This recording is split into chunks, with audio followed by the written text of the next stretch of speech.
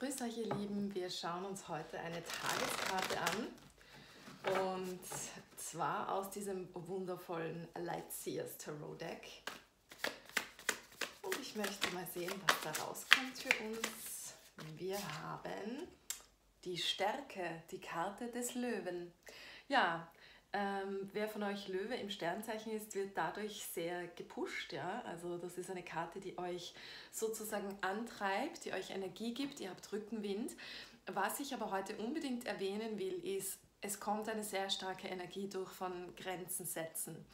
Ich möchte euch dazu was erzählen, was mir gerade passiert ist kürzlich. Ich habe einen Menschen kennengelernt, eine Dame auf äh, Telegram und ich habe mit ihr so ein bisschen hin und her gechattet.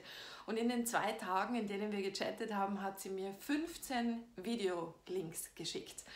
Und ich habe ja sowieso nicht äh, die geringste Zeit, irgendwas davon anzuschauen, ja, weil ich habe einen sehr äh, gepackten Tag. Und irgendwann ist es mir dann zu bunt geworden und ich habe ihr geschrieben, bitte versuch doch das Videoschicken auf eines pro Monat zu beschränken, weil 15 in zwei Tagen ist einfach zu viel für mich gewesen. Und ihr müsst bitte ganz genau darauf schauen, wenn ihr jemandem so eine höfliche, freundliche Grenze setzt, wie der dann reagiert. Wenn dieser Mensch ähm, respektlos reagiert und eure Grenze nicht achtet, sofort diesen Menschen aus eurem Leben entfernen, bitte. Diese Frau hat zurückgeschrieben, Trigger. Und dann habe ich ihr geschrieben, du meinst, du bist getriggert dadurch, dass ich dir eine Grenze gesetzt habe. Naja, das kann vorkommen, ja. Dann hat sie geschrieben, Hochmut kommt vor dem Fall, du regst dich auf wegen einem Video. Und ich habe dann zurückgescrollt und habe die Videos durchgezählt. Es waren tatsächlich 15 Videos, die sie mir geschickt hat. Nicht eines, 15. Ähm, ich habe ihr im Gegenzug eins geschickt eines, ja, sie mir 15. Das heißt, man sieht ganz, ganz deutlich, wer da wen zugespammt hat, ja.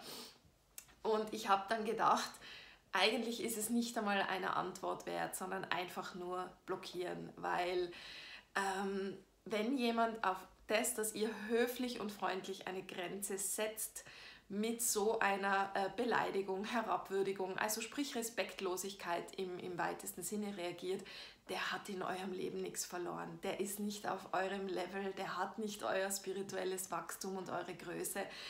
Was soll sich denn bitte der Löwe mit der Mücke anfreunden, ja? Da sind wir wieder beim Löwen, ja? Was soll sich der Löwe mit der Mücke anfreunden? Es hat keinen Sinn, ja? Der Löwe muss sich einen Löwen suchen. Ihr braucht ein Gegenüber, das, das euch gewachsen ist, auch im spirituellen Sinne. Dass das packt, wenn ihr eine ganz normale, freundliche Grenze setzt, okay? So viel zum Tage. Ich wünsche euch ein schönes Tag und bis bald. Tschüss.